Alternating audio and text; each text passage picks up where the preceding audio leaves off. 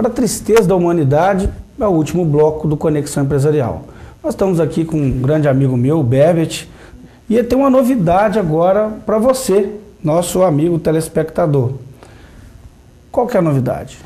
Novidade, igual nós falamos no bloco anterior, você falou Sandy Júnior, né? É. é Rick Renner. É. É, as pessoas chegam um determinado momento que eles querem a carreira solo, né? Uhum. E chegou o momento de eu ter esse voo solo e houve a separação da sociedade, da Copiarte, e na negociação eu acabei ficando com a Papelaria São Paulo e o meu ex-sócio com a Copiarte.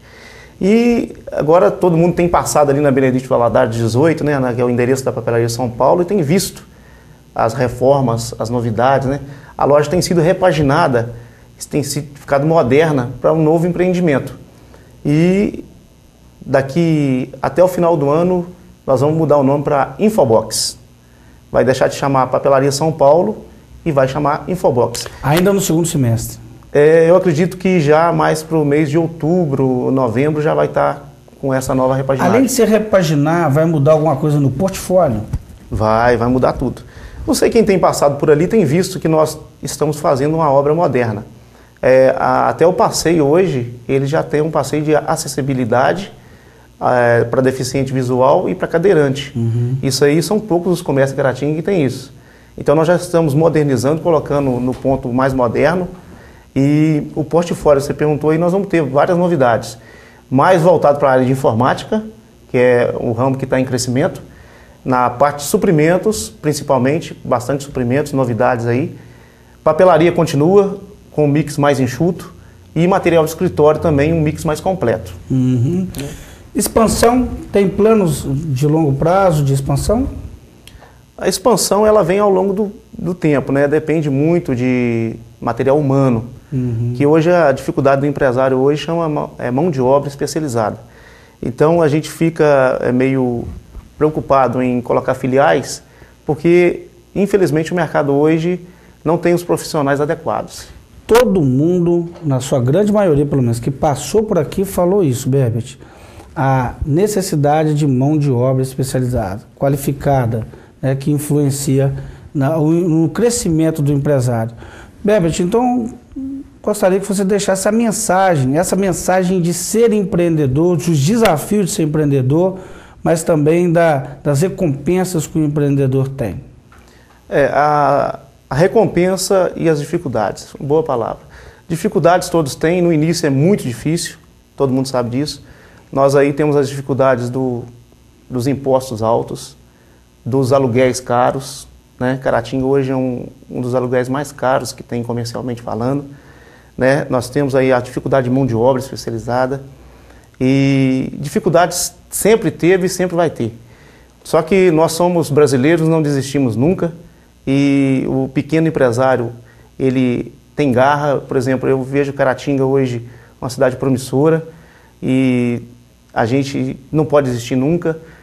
É, tem muitas dificuldades realmente, mas a gente tem garra, tem vigor, novo, né? A gente está novo aí, tem muitos anos pela frente. Uhum. E uma das dificuldades também que eu vejo maior hoje, Roberto, em Caratinga, é essa falta de parceria CDL e a SIC. Hum. Para você ter ideia, a SIC hoje não funciona. O empresariado está órfão. Né? A SIC hoje está desativada. Tem um processo judicial e até hoje não resolveu. Então o empresariado hoje ele sofre. Está difícil demais Caratinga.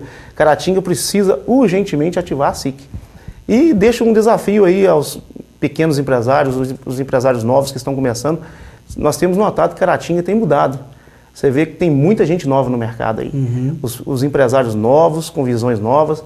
Vemos vocês aqui, nossos contemporâneos de faculdade aqui nos programas. O Luciano Rush, meu amigo de infância, aqui diretor do programa. Então, as pessoas novas estão tomando conta do mercado. E a SIC precisa ver isso. Será que não é hora de colocarmos gente nova na SIC?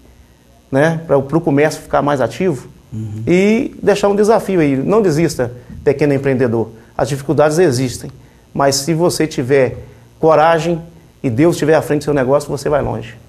É, nós sempre damos voz a, a, a, todos os segmentos da sociedade aqui. Geraldo da SIC teve aqui, falou do trabalho, realmente falou desse período que ele queria até de união é, para todos.